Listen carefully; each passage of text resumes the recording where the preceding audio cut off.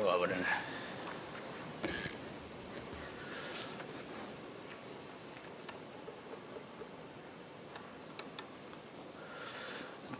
존경하는 의장, 선배 동료원 여러분, 시장과 교육감을 비롯한 출석 공무원 여러분, 강남구 제4선거구 출신 김현기 의원입니다. 제9대 서울시의회가 이제 임기 마지막 4년 차에 접어듭니다. 그동안 시의회가 과연 견제와 감시 역할을 다 했는지 자성하고 남은 1년을 봉사해야 할 것입니다. 시장과 교육감도 시민의 혈세로 인기 영합적, 치적 쌓기식 정책은 없었는지 냉철히 평가해야 할 것입니다. 조희현 교육감님 앞으로 나오시죠.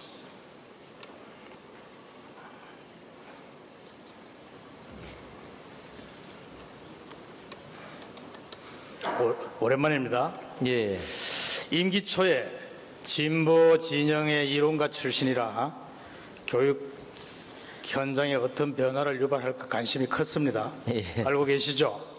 근데 2년 반, 예, 3년 가까이가 지난 시점에서 참 아쉽다. 시민들의 평가입니다. 참 아쉽다. 기대가 있었는데 기대에 못 미친다. 이런 평가가 있는 거 알고 계세요? 예, 뭐 그런 평가도 있고 또 긍정적 평가도 음, 또 그 이유를. 내가 살펴봤더니 이 선거법에 걸려서 한 2년 반 동안 제대로 일을 못 하셨어요. 참 아쉽다는 생각이 들었습니다. 다행히 그 올가미에서 벗어나기는 했지만은 이제 남은 시간이 얼마 없어요. 그동안 한 3년 가까이 교육감이 중점적으로 추진한 사업, 정책 세 가지만 한번 얘기해 보세요. 예, 뭐 일단 제목만 얘기하세요. 예, 대표적인 사업이 아무로 자사 고교 체제 개혁인데요. 자사고 오케이. 문제와 또 일반고 전성 시대 그리고 혁신 교육 지구 같은 게 있고요. 또 최근에는 이제 문화예술 교육 활성화를 위해서 중학교 협력 종합예술이라는 이름으로 잘 알겠습니다. 아, 지금 확대를 좀 하고 음, 있습니다. 뭐 혁신고, 혁신학교 이런 것은 전임 교육감의 승계 사업이고 어쨌든 음, 그렇게 좀 만족스럽지 못하다는 평가가 있어요. 따라서 그렇게 하면 재선에 좀 힘들지 않겠나. 그러나 재선을 하려면 저 재선 박원순 시장한테 한서 지도 받으면 됩니다. 아, 받으시면 더 지도해 주세요. 그리고 지금부터 제가 질문하는 것을 잘 실천하면 재선 틀림없습니다. 아시겠습니까? 그러면 다목적 강당 건립 역차별 문제와 미세먼지 대책에 대해서 질문하겠습니다. 화면 넘겨주세요. 어, 최근 미세먼지 대책으로 실외 교육을 가급적 억제하고 실내 교육을 하라는 그런 방침을 정한 적이 있죠. 예. 있죠. 예. 그런데 서울 시내 초중고가 1339개 학교가 있는데 현재 강당이 없는 학교가 253개입니다. 253개 학교는 어디 가서 강당이 없는데 어디 가서 실내 교육을 합니까? 체육을 합니까? 문제가 많죠. 예, 그렇죠. 저는 이 문제만큼은 적어도 내년도 예산에 설계비만큼은 다 반영해야 된다고 생각합니다. 설계비는 한 학기 1억밖에 들지 않아요. 특히 내년부터는 누리과정 예산을 국비로 부담한다고 했습니다. 내년에 이거 설계비 전액 반영하시기 바랍니다. 이거 실천하시면은 재선 교육감들한테 지장이 없지요. 예, 저희도 지금 아니 이 부분들은 굉장히 중요하게 생각을 하고 있고요. 어, 특별히 이제 중앙 정부에서도 어, 이, 이 문제에 대해서 미세먼지 대책을 오케이. 발표하면서 얘기를 때문에 답변으로 드리겠습니다. 저희가 협력적으로 해서 굉장히 중요하게 생각을 지금 예, 하고 예. 있습니다. 알겠습니다. 내내 꼭 반영하시기 바랍니다. 그리고 보다 더 큰 문제는 지역 역차별입니다. 지금 보유 실태를 보면요. 강남 서초 교육청 관내 초중학교는 평균에 훨씬 미달합니다. 이 밑에 보면 다 보입니다. 반면에 성북과 강북교육청은 초중학교가 91% 87%입니다. 보유율이. 근데 강남 서초는 초등학교 71%, 중학교 77%입니다. 우리 정무부 시장님 한번 잘 보세요. 11개 교육청 중에서 완전 꼴찌예요. 시장님. 이게 바로 강남북 역차별입니다. 왜 강남에 있는 초등학교, 중학교 아이들은 강당이 없는 학교에서 역차별을 받아야 합니까? 이거 시정이 필요하죠? 예, 저 한번 이거 교육청에서 저한테 낸 자료예요. 예, 예. 현황 파악이 안 돼 있어요, 교육감? 아닙니다. 그 아까 말씀하신 대로 253개 중에 지금 139개가 아니, 어쨌든 이 비율이 다 나와 있잖아요. 강남 서초 71% 예, 예. 77% 아닙니까? 평균 78%예요. 예, 상대적으로 예? 좀- 좀- 남부의 86%입니다, 평균에. 왜 이게 엉뚱한 질문입니까?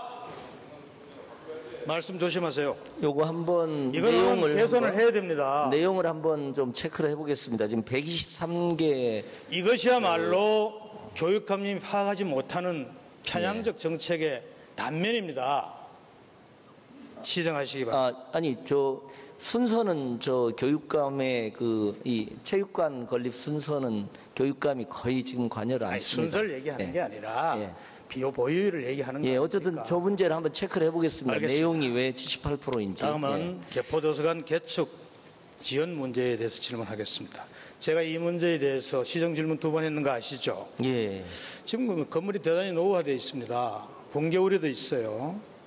이거 방치해서 사고 나면 큰일 납니다. 빨리 진행이 필요한데 이걸 파악을 해보니까 박원순 서울시장님의 협조가 필요해요. 알고 계시죠? 예, 예. 박원순 시장에게 협조 요청을 하셨습니까? 예, 지금 강남구에서 1차적으로 협력을 아니, 필요하고 교육장님이 하시- 그다음에 교육감님이 하셨는데. 서울시에 예, 예. 지금 하시기. 협의하는 중입니다. 어, 그리고 사실은 어 제가 김현기 의원님한테 이 개포도서관 문제에 관해서는 저희가 아, 또 제가 감사하는 부분도 생각하고 있습니다. 있습니다. 저도 예. 고맙게 생각하고 있습니다. 2015년에도 질의를 예. 해주셨고 그래서 그래서 예. 이거 빨리 시장님과 협조해서 하시기 바랍니다. 아시겠죠? 예, 그 부분은 다음은 녹색 어머니 운영 지원 관련 질문하겠습니다. 녹색 어머니의 역할은 다 알고 계시죠? 예. 시정 그 현장에 한번 가보신 적 있나요? 예, 뭐 저는 매년 녹석 어머니의 그 연례 집회에 가고 음. 알겠습니다. 있습니다. 그 현장에 저도 매일 아침에 한 학교씩 나가 봅니다. 근데 우리 동료원 중에서는 어, 우리 존경하는 최호정 의원이 녹색 어머니 회를 10년 동안 하셨대요. 회장도 하시고 예. 지금도 틈틈이 현장에서 활동하는 것으로 알고 있습니다. 그런데 이러한 녹색 어머니 회가 하나도 교육청으로부터 지원받는 게 별로 없어요. 시청으로부터도 받는 게 없고 이게 좀 지원이 필요하지 않나요? 예. 필요하죠. 예. 그래서 저는 그 동료원과 함께 이 녹색 어머니회를 지원하는 조례, 이 조례를 다 준비해 발의하려고 준비해 놨습니다. 예. 에, 이걸 제정하면은 정말 교육감이 큰 치적이 되라고 봅니다. 왜냐하면 아이들의 안전을 위한 정책, 이거보다 더 중요한 정책이 어디 있습니까? 그런데 비가 오나 눈이 오나 이게 녹색 어머니 노래 첫, 첫 구절이에요. 비가 오나 눈이 오나 나가서 봉사하는데 그들에 대한 배려는 없다. 그리고 요새 어머니들 다 직장 생활 하잖아요. 예, 그렇습니다. 이런 점을 고려해서 그 녹색 어머니 지원 조례를 발의할 테니까 예. 꼭 통과시키는데 협조해 주시기 바랍니다. 저희가 지금 두 가지가 있는데요. 뭐 많은 건 아닙니다만은 특교를 활용해서 한 5천만 원 정도 이렇게 우리 시장님한테 좀 지원해 주라 그랬죠. 예, 그렇게 하고 두 번째는 이제 지금은 녹색 어머니가 서울 전체 학교에 구성되어 있는 알겠습니다. 학부모회 예, 일부가 되어 있습니다. 그래서 학부모회 지원을 통해서 간접적으로 조금 제가 다 알고 있는 아, 내용이고요. 예, 예, 예. 그래서 이거 실행하면은 이 제가 뭐 농담 삼아 드리는 얘기는 하지만은 사실입니다. 교육감님 다음 선거 때 굉장히 지원을 받을 것이다. 이렇게 드립니다. 다음은 2018년도 일반계 고교 배정 원칙과 중학교 학교군 재설정에 관한 질문입니다. 지난 2월 임시회 때 풍문고 배정 때문에 제가 질타를 한 적이 있죠. 예, 그렇죠. 그 내년에 꼭 개선하셔야 됩니다. 예, 지금 내년에는 뭐 다행히 좀 갈등이 적을 어, 것 예, 같습니다. 알겠습니다. 꼭 시정해 주시고요. 예. 방금 말씀드린 이른바 중학교 학구 조정 용역을 발표하셨죠. 그렇습니다. 예. 결과가 들어왔나요? 어, 지금 이제 최종 보고서가 나오는 단계입니다. 근데 이것은 굉장히 학교 현장에 미치는 영향이 큽니다. 학부모들 그렇습니다. 높고요. 면밀히 검토해서 해야 됩니다. 충분히 의견도 청취하고 공청회도 하고 예. 준비 기간도 충분히 잡아서 예, 물론입니다. 실행하기를 기대합니다. 저희가 교육위원님들하고도 곧 이제 어, 보고를 한번 협의를 하려고 지금 알겠습니다. 준비하고 있습니다. 이거는 함부로 시행했다가는 큰 코 다칩니다. 예, 아시겠어요? 중립과 고입이 사실 굉장히 복잡한 학부모들의 이해가 지금 다음은 있어서 교육청과 사전 협의 없이 서울시청이 특별조정교부금을 일선 학교에 직접 교부한 이 위법 부당성에 관한 문제를 질문하겠습니다. 어, 작년 12월 20, 30일 서울시청 행정국은 일선 19개 초중고에 20억 특별교부금을 전격적으로 교부했습니다. 알고 계시나요? 예, 알고 계세요? 예, 저도 뭐 이번에 그 이번에 알게 개별 됐죠? 사안으로 알게 됐습니다. 근데 배부할 때는 교부할 때는 모르셨죠? 예, 그렇습니다. 이거 굉장히 심각한 문제입니다. 우리가 흔히 말하는 조례상 전출금, 교육 격차 해소와 인재 양성을 위한 지원 조례 근거해서 지원하는 예산은 약 4, 500억 되는데 이거 다 시청이 교육과 교육청하고 협의해서 지원합니다. 그렇죠? 예, 그런데 학교 현장에 서울시청이 특별교부금 20억을 무단으로 협의도 없이 직접 교부했습니다. 잘못된 거죠? 근데 저희도 이거 보니까 이게 법적 의무 사항은 아닌 걸로 지금 그렇습니다. 돼 있습니다. 그냥 특별 아니, 교부금이기 때문에 교육감이 교육 자체를 왜 별도로 합니까? 교육의 중립성과 특수성을 감안해서 별도로 하는 거예요. 예. 그런데 지방자치단체 장인 서울시장이 일선 학교에다 특별 교부금을 함부로 펑펑 주면 되겠습니까? 잘못됐습니다. 이거는 따라서 교육감의 고유 업무를 저는 침해했다고 침해했다고 지적할 수밖에 없어요. 예, 그리고 교육감은 권한을 침해받았습니다. 이 점에 대해서 면밀한 검토와 개선이 필요합니다. 이해하시죠? 예, 일단 이게 저희 입장에서 이제 교육 재정이 좀 물론 부족해서 돈 들어오면 좋지만은 그렇게 예, 판단하시면 학교에 안 좀 돼요. 많이 지원해 주면 원칙이 있잖아요. 반영을 하는 방향으로 지원을 받으려면 교육감을 통해서 나가야지. 예. 직접 학교 현장에 서울시장이 무슨 권한과 명분으로 예산을 지원합니까? 예, 저희한테 실무적인 협의가 오면 얼마든지 협조를 알겠습니다. 해드리려고 앞으로 하고 그런 일이 있습니다. 없도록 시청에 경고하시기 바랍니다. 예, 들어가십시오. 고맙습니다. 다음 우리 시장님께 질문하겠습니다.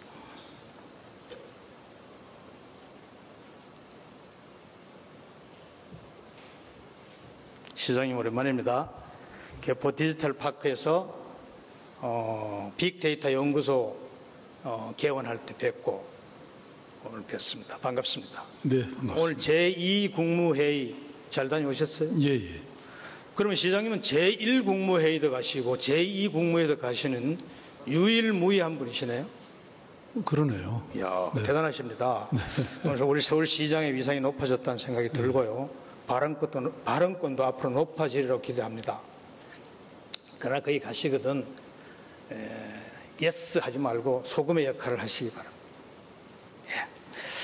시장님 요새 행복하시죠? 제가 열거해 드릴게요. 대통령 특사도 하시고, 박은순 인맥이 정부 요직에 두루 포진하시고, 특히 박은순표 정책이 국가 정책 아젠다에 다 채택이 됐습니다. 행복하죠. 뭐 평소에도 행복했습니다, 의원님. 많이 더 행복할 것. 같습니다. 그래서 축하를 드리고요. 근데 이런 걸 혼자 독식하면 배탈 납니다. 네. 이런 것들이 다 우리 서울시의회 의원과 의회가 도와줬기 때문에 가능한 거예요. 아니, 그럼요. 앞으로도 공동의 작품이죠. 그렇습니다.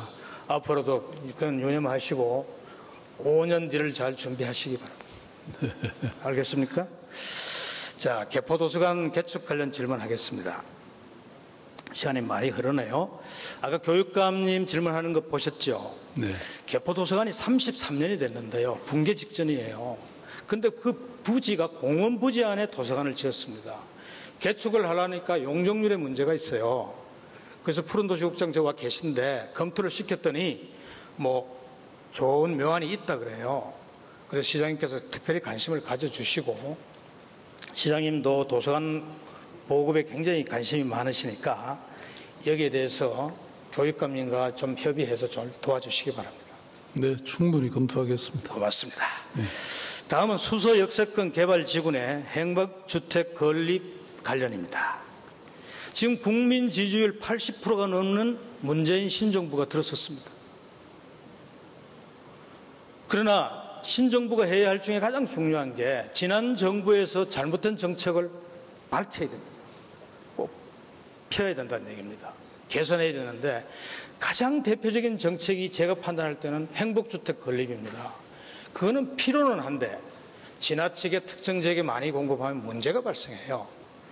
그래서 양천구와 강진구에서 주민 반대로 지금 못하고 있지 않습니까? 우리 세곡 이지군 세곡동에 있는 역세권 개발에 3천 가구를 지금 건립하려고 그래요. 이거 중앙정부에 건의해서 좀 중단시킬 용이 없습니까? 예, 뭐 저는 우리 김영기 의원님 말씀하시는 것에 전폭적으로 동의를 합니다. 왜냐하면 네네. 행복주택이 물론 필요는 하지만 이게 그 지역의 특수성이나 이런 걸 좀 고려해서 해야 된다고 생각하는데 그래서 지금 저희들이 일방적으로 이렇게 에, 국토부에서 지정한 거에 대해서 저희들 분명히 반대 의사를 표명했습니다. 네. 그런데 아직도 강행하고 있어서 이 부분에 대해서는 저희들 국토부하고 협의를 해서 좀 가능하면 이 지역에서 어, 그 행복주택이 들어서지 않도록 대단히 고맙습니다. 노력하겠습니다. 예, 질문 전에 내가 제2부시장님하고도 통화를 했어요. 수소 역세권 개발 사업은 좀 시간, 시간을 조절하면서 특히 행복주택만큼은 안 됐으면 좋겠다는데 공감했습니다. 네. 시장님 감사합니다. 다음은 단절된 녹지출 연결 관련해서 질문하겠습니다. 시장님 그 양재 고개에 생태육교를 건립하겠다는 계획은 보고받으셨죠? 예.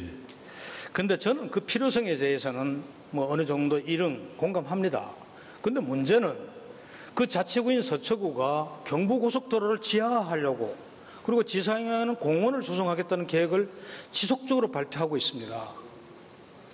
그런데 양재고개의 연결 생태축 육교가 왜 필요합니까? 따라서 반대하는 게 아니라 지하화 사업을 고속도로 지하화 사업을 추진한다면은 생태육교 건설은 시기를 조절하고 좀 충분한 검토를 하고 난 다음에 하라 그런 얘기입니다. 200억 원이 들어갑니다. 생태육회 하나 만드는데 200억 들어가는 데는 대한민국에 없어요. 이것은 예산의 낭비일 뿐만 아니라 자칫하면은 전시행정이라는 지적을 면치 못해요. 따라서 경부고속도로 지하 사업과 연계해서 시기를 조정하든지 재검토가 필요하다고 저는 생각합니다. 어떻게 생각하세요? 예, 우선 뭐 지하화를 전제로 하더라도, 근데 우리는 지금 아직 지하에 관한 서울시의 이런 결정이 없는 데다가 지하화 하더라도 아마 이거는 그걸 고려해서 연결망이 필요하다. 아마 실무적으로 이렇게 판단하는 것 같은데 또 우리 김 의원님이 문제 제기를 하셨으니까 한번 그거는 검토를 해보겠습니다. 예, 충분히 검토하시기 바랍니다. 단 이론도 낭비 있는 사업은 해서는 안 됩니다. 부탁드립니다. 다음은 수소 차량 기준의 통학버스 운행입니다. 2년 전에 질문할 때 시장님이 도와주셔서 수소 차량 기준으로 중학교 아이들 통학버스가 운행을 작년까지 했어요. 그런데 느닷없이 올해 운행을 중단시켰습니다. 수소 차량 사무소에서. 그래서 제가 파악을 했더니 오늘부터 재개한다고 했습니다. 근데 현장에 나갔어요. 오늘 아침에 나가 봤습니다. 못 다니고 있어요. 교통공사 사장 허위 보고 하면 안 돼요. 그리고 교통본부장님 오셨어요? 아, 오셨네. 아까 어디 가시던데. 이거 파악하시기 바랍니다, 시장님. 아이들을 위해서 그 정도도 배려를 못 한다면은, 아니, 수소 차량 승, 그 기지 딴 데로 옮겨야 됩니다. 그래서 이거 좀 검토해 주시기 바랍니다. 네. 아셨죠? 네, 의원님, 요거는 저도 아- 아까 아침에 에, 보고를 받아봤는데, 그 당연히 아이들을 위해서 편의를 제공해야 되는 건 맞는데, 어쨌든 이 차량 기지가 또 일종의 보안 시설이기도 하고, 그래, 그리고 또 이게 노동조합이 또 굉장히 반대를 하는 모양입니다. 그래서 아무튼 방법은 다른 방법을 한번 찾아보든지, 뭐 그렇게 시장님 그 버스가 지나가는데요. 버스 타고 2분이면 지나갑니다. 무슨 보안과 관계 있습니까? 가이들이 아니, 걸어 다니는 아니고. 그런데 이게 아마 예? 지금 이 이렇게 가는 것과 좀 돌아가는 것의 시간 차이는 한 2분 정도라고 하니까요. 아닙니다. 네. 밤고개로 확장 공사가 시작이 됐어요. 지금 그 주변에 있는 나무를 이식하고 하면 도로폭이 또 좁아집니다. 또 밤고개로가 체증을 겪게 돼요. 따라서 밤고개로 확장할 때까지는 좀 다니게 해주시기 바랍니다. 아무튼 한번 예. 종합적인 상황을 검토를 해보겠습니다. 예, 예. 다음은 공영 장례 지원제도 도입과 관련해서 질문하겠습니다. 먼저 동영상을 보시겠습니다. 이게 7분짜리인데 줄여서 1분으로 만들었더니 좀 그렇습니다. 보시기 바랍니다. 사회로 진입한 일본의 고독사 문제가 심각해지고 있습니다.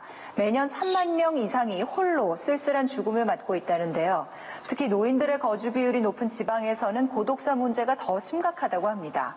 최근 일본에서는 죽음을 홀로 맞이해야 하는 노인들을 위해서 장례 절차를 시에서 지원하는 복지 사업도 도입이 됐는데요. 이재혁 PD 특파원이 취재했습니다. 문제는 여기서 그치지 않습니다. 자신의 마지막 가는 길을 혼자서 준비해야 되는 고령자들이 늘고 있다는 겁니다. 자신은 무용고자가 아니면서도 스스로 장례를 준비해야만 하는 고령자들을 돕기 위한 프로그램을 전국 최초로 실시하기 시작했습니다. 그 계기가 된 건 혼자 죽음을 맞이한 노인의 방에서 발견된 유서와 통장이었습니다. 3枚1000円のさ下着のシャツあるじゃん、その板紙で 書いてあった遺書だよ、15万円しかないけど仮装して無縁仏にしてもらえませんかって書いてあるんですよ 예금도 있었지만 자신의 장례를 부탁할 곳을 못 찾은 겁니다. 이런 일이 재발하지 않기 위해 시가 나섰습니다.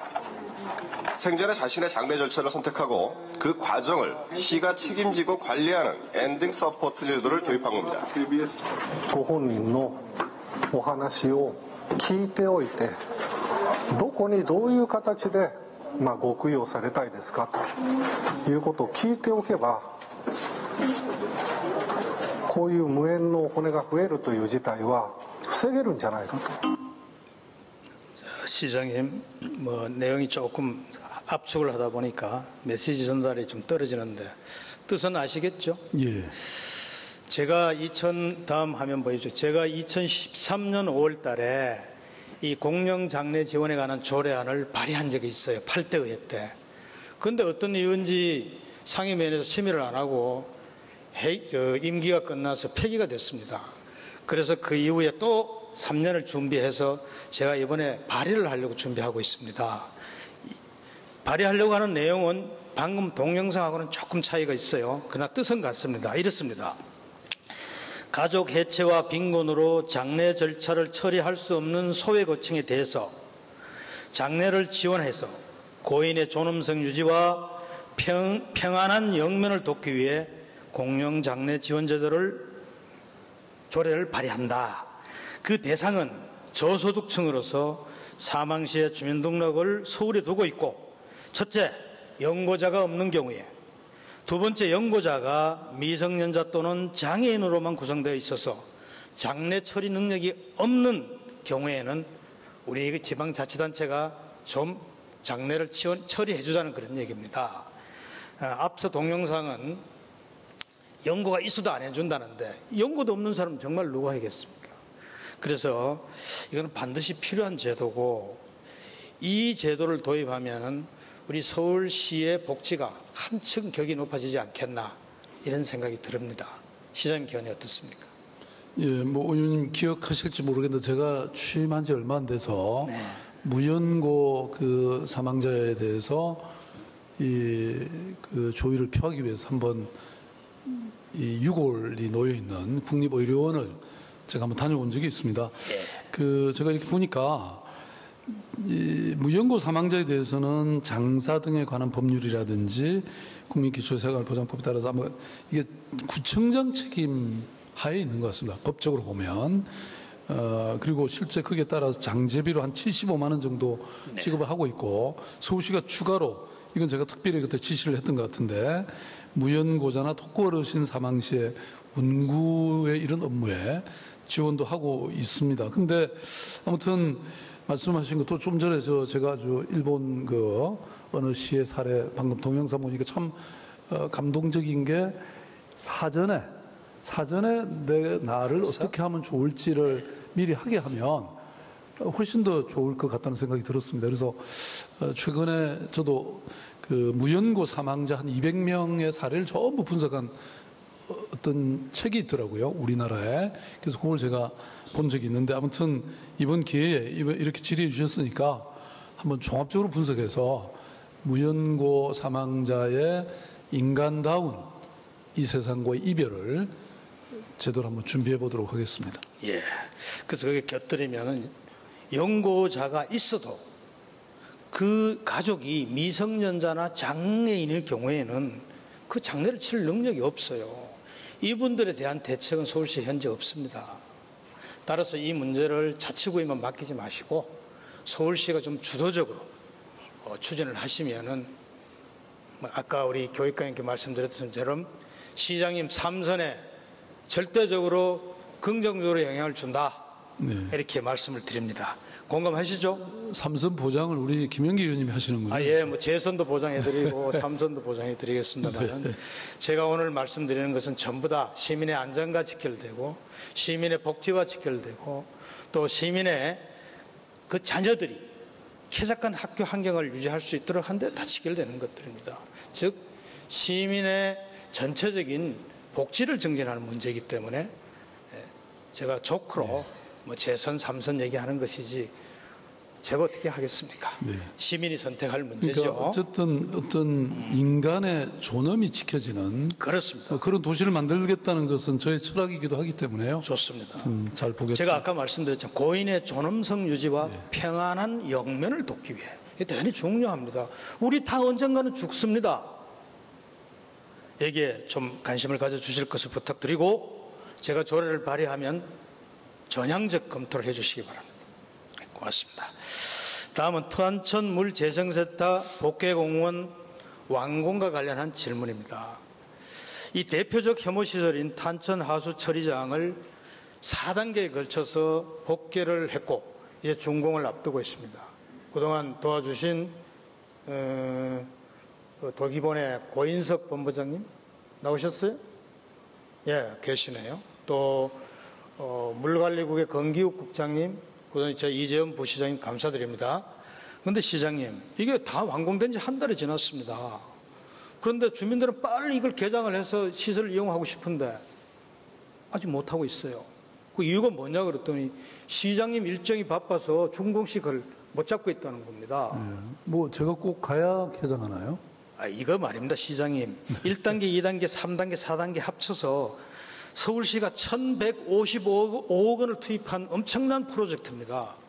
뭐 안 오셔도 관계는 없지만 저 혼자 뭐 폼 잡으면 되겠지만 시장님 오셔야 더 빛나지요. 만약에 못 오시면은 예, 이 부 시장님이 오시 이 부 시장님 맞죠? 이 부 시장님이 오시더라도 빨리 좀 개장할 수 있도록 아니면 일단 주민들이 쓰게 하고 그 후에 뭐 알겠습니다. 식은 나중에 하더라도 뭐 제가 예, 그렇게 그냥 드리는 얘기고요. 그런데 아직도 이거 보십시오, 시장님. 이게 하중을 많이 주지 않기 위해서 아주 그 경량 다목적 강당을 만들었습니다. 근데 사실 이 안에 아직도 시설이 하나도 안 들어갔어요. 뭐 나- 냉난방 시설도 못 들어갔고 필요한 어, 집기가 못 들어갔는데 여기에 예산을 좀 지원할 수 있도록 많이 도와주시기 바랍니다. 시장님, 주민을 대표해서 이 단천 하수 처리장 복개를 완공시켜서 감사드리고요. 혐오 시설 주변에 사는 주민들의 자존심을 높여주셨습니다. 감사드립니다. 고맙습니다. 예. 다음은 오늘의 질문의 마지막입니다. 이 질문하기 위해서 여태까지 앞에 거 말씀드렸습니다. 앞서 교육감님께 특별조정 교부금을 즉 이른바 특교를 일선 학교에 직접 서울시장이 지원할 수 있는가에 대한 질문입니다. 특히 이 특교 배부는 늘 쟁점의 대상이고 우리 동료 의원님들도 굉장히 관심을 갖고 있는 사항입니다. 자, 시장님 다음 자료 보여주세요. 작년에 2016년도 특별 고- 교부금의 총액이 2,686억입니다. 일반 조정 교부금의 10%니까 굉장히 큰 금액이죠. 이렇게 지원을 했습니다. 그런데 다음 질문 자료 보셨어요? 위임 정결권 규정을 여기 보시면은 자치구 조정교부금의 산정과 배분은 담당 가장이 기한하고 최종 시장이 결재를 하도록 규정되어 있습니다. 보이시죠? 여기 여기 안 보입니까? 이렇게 되어 있지 않습니까? 기- 알고 계십니까? 예. 가장이 기한하고 시장이 결재하도록 되어 있어요. 그럼 당연히 국장, 부시장, 결제하셔야 되겠죠. 유경기 부시장님 결제하신 적 있어요? 없어요. 없을 겁니다. 그래서요, 시장님. 그런데 다음 페이지 보십시오. 2016년 특별조정교부금 운영 계획을 보면은 행정국장, 아니, 앞, 앞에지.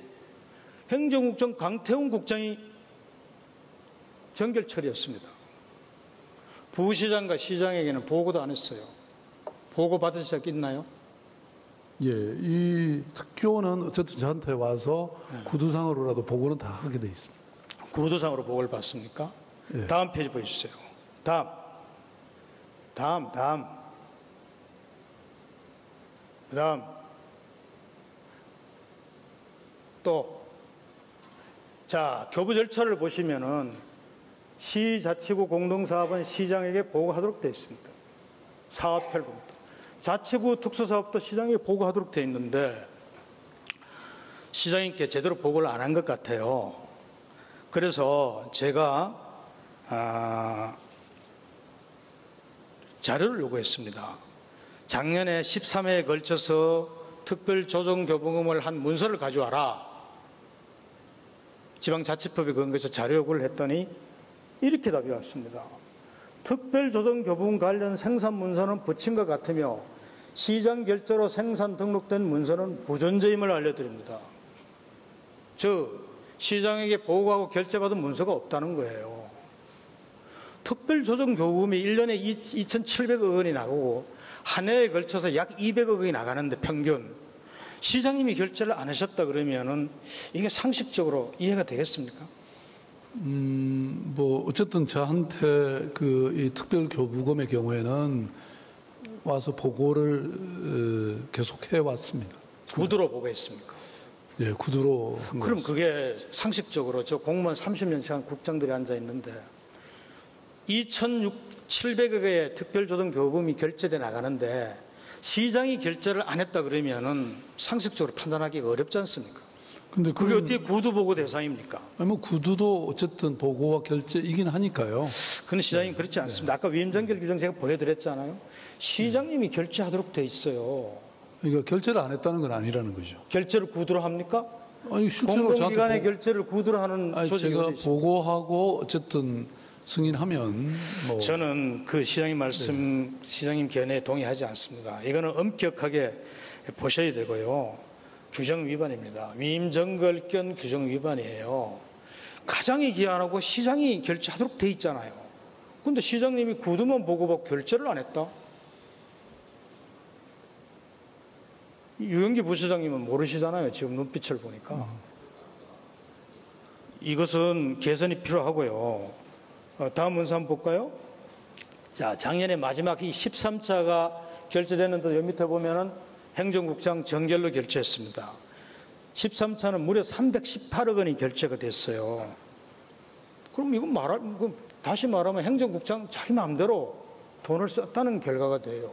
시장님은 어디에도 보고받았다는 근거와 기록이 없습니다. 이것은 대, 대한민국 서울특별시의 행정이라고 할 수가 없어요. 참으로 안타까운 일입니다. 따라서 이것은 철저한 그 점검과 개선이 필요하다고 말씀을 드립니다. 뭐가 어렵습니까? 시장이 결제하는데 그게 어렵습니까? 그래서요, 시장님. 다시 한번 다음 페이지 보여주세요.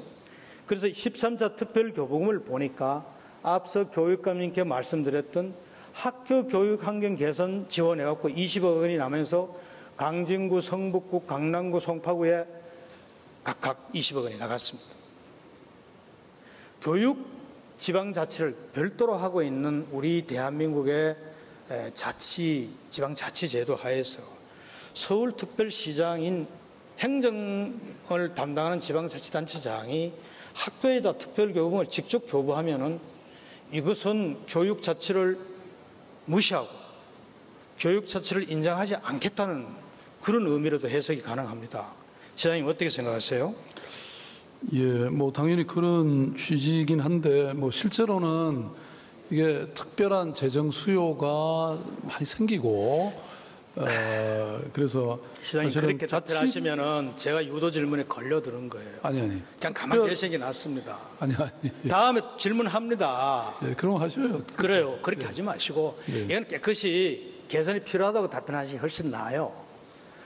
결제도 잘못했고 아니 교육감 영역에 시장이 침범을 했습니다. 저는 그건 아니라고 생각합니다. 아, 그 의도가 그렇지 않았다 하더라도 결과가 그렇게 됐습니다. 아니 실제로 지금 뭐 교육청의 예산이 워낙 많이 부족하니까 그래서 소위 조례상 전청, 전출금이라는 그 인재 양성과 이거 지원에 관한 조례를 만들어서 그걸 통해서 교육청에 넘겨주고 넘겨주는 과정에서 서로 협의해서 교육청의 학교별 우선순위를 받아서 하는 겁니다. 그러니까 그건 연간 제 예상되는 기본 수요에 대해서는 그렇게 하는데 뭐 또 이 특교라는 게 특별 교부금이라는 게 이제 뭐 이렇게 좀 어, 임시로 특별교육의 급하게. 용도가 학교에 주라고 할 영역이 없습니다. 아니 그러니까 여러 가지 뭐 시설 개선이라든지 이런 것들은 좋아요. 그때 그러면- 그때 생겨나니까 그 그러면 수요가. 아까 저 보셨죠? 어, 아까 자료에 보면은 교육감 질문할 때 자료에 보면은 이번에 20억 나간 것은 서울 교육청에서 정해놓은 우선순위에 2017년 우선순위에 하나도 포함이 안 돼 있습니다. 잘못됐죠. 그래서 시장님께 말씀을 드립니다. 이것은 저는 이렇게 심증이 가요. 왜 서울시가 느닷없이 연말 하루를 앞두고 20억을 특정 학교에 그것도 특정해서 내려보냈습니다. 에? 강남구 같은 경우는 확인을 해보니까 서울시가 A, B, C, D, E 학교를 정해갖고 이 학교를 신청하라고 얘기했습니다. 서울시가. 이거야말로 월권이고 있을 수 없는 일이에요. 그래서 저는 이것은 뭐 순수한 의도라고 볼 수도 있지만은 혹시 외부에서 이런 특별 교부금을 달라고 요구받은 적이 있습니까? 아니 이게 이제 아까도 말씀드린 것처럼 자치구청장이 대체로 협의해서 요청하는 것들 저희들이 그, 그런데요, 예, 요청- 자치구청장 물어봤습니다. 우리는 네. 학교에 연간 200억 원 가까이 구청 예산을 지원해 주기 때문에 서울시로부터 특별 교부금을 받아야 할 이유가 없다. 그런데 12월 22일 날 학교를 다섯 개를 특정해 주면서 이 학교에 1억씩 신청하라고 해서 했다. 뒤에 나옵니다. 자료 보면 넘겨보세요. 이거 보십시오. 서울시 자치행정과에서 학교 및 예산을 지정하여 강남구 기획예산과 예산팀에 연락을 줌. 그래서 신청했다는 거예요. 그래서 시장님, 이거는 어쨌든 뭐 공무원들이 알아서 판단한 것으로 제가 이해를 해도 되겠습니까?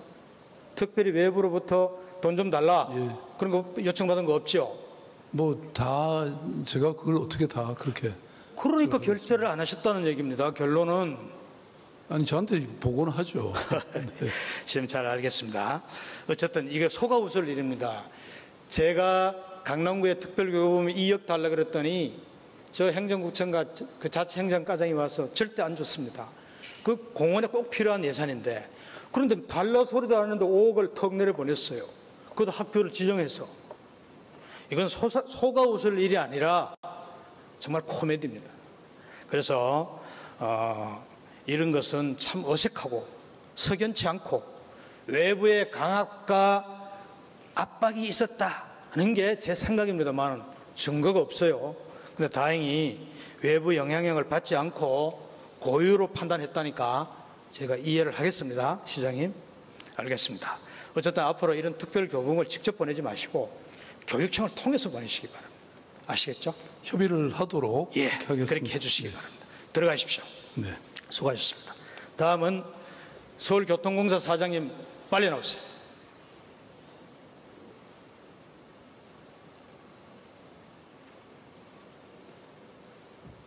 예, 서울교통공사 사장입니다. 통합 지하철공사 통합 사장님 친 축하드립니다. 예, 공화. 뭐 이제 양공사 다 섭렵하셨으니까 업무는 정통하시죠? 예, 정통하시나요? 뭐 제가 그 알겠습니다. 아는 것과 모르는 것이 뭐 다음 기회에 시정. 질문하면서 테스팅을 한번 해보겠습니다. 제가 옛날에도 얘기했지만 제가 철도고등학교를 졸업했어요. 예, 그래서 현장에 정보망이 많습니다. 사실은 그 교통공사의 정보는 저만큼 아는 사람도 드뭅니다. 그런데 제가 질문을 잘 하지 않아요. 왜? 사장님이 잘 하시니까 그렇습니다. 앞서 시장님께 질문하는 거 보셨죠? 수소 차량 기지를 통과하도록 그것도 아침에 버스 다섯, 다섯 대 지나가는 겁니다. 그것을 용인하지 않는 교통공사의 옹졸함 부끄럽죠? 저기 어저께 그 3회 통과를 했고 어제 수서 중학교 교장 선생님이 저희 차량 기지 직접 와서 감사의 현장에 좀 나가보세요. 감사의 인사를 하고 갔습니다. 참. 오늘도 2회 오늘 아침에 버스 운행했습니다. 두 대밖에 안 지나갔어요. 다섯 오늘- 대 지나가야 되는데. 오늘 2회 운행했고 어제는 3회 운행했고 수서 중학교 교장 아니 아니 선생님 사장님 감사하다고 버스가 인사까지 하고 3회 갔습니다. 이해가 중요하지 않고요. 아침에 버스가 세, 한 번에 두 번 두 번 한 번 지나가야 돼요. 이렇게 교대로 지나가니까. 근데 다섯 번 지나가야 할 버스를 어제는 세 번 오늘 두 번 하면 나머지 학생들은 뭘 타고 갑니까? 저희는 그 수서 중학교하고 알겠습니다. 들어가십시오. 예. 저렇게 현장을 모르는 사장하고 답변하기 더 싫습니다. 존경하는 동료 의원 여러분.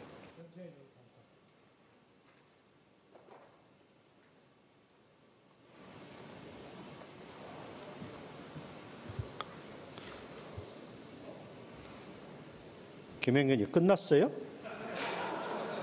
어, 이거 말씀이라 하시지. 수고하셨습니다. 네.